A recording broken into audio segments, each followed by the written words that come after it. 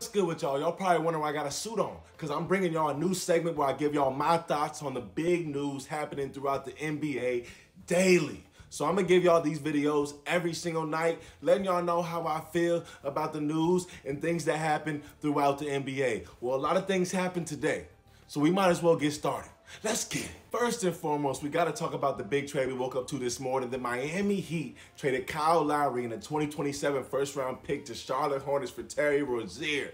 Crazy because Terry Rozier is a dog. Not only is he a dog, he's also a fan of the Miami Heat. So you know he's gonna blend in with the culture. He's gonna do what he needs to do. Any averages over 20 a game. This is a dope trade. I'm happy to see what happens with Miami on this one. But we got more news to get to. So let's go. Man, you never want to see nobody get let go, but I feel like we all saw this coming. We found out the news that he was losing the locker room, and you know it. Once you lose Giannis and you lose the locker room, you lose Dame, it's over with. You're gone you have to go. So I feel bad for Adrian Griffin, but hey, we knew this time was coming. But guess what?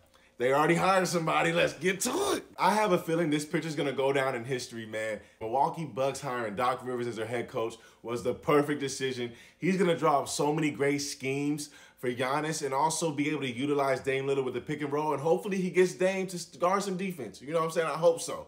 But let me know what y'all think about the news that happened today. Leave some stuff in the comments and let me know some other stuff y'all want me to talk about. Hey, I'm gonna give y'all these daily.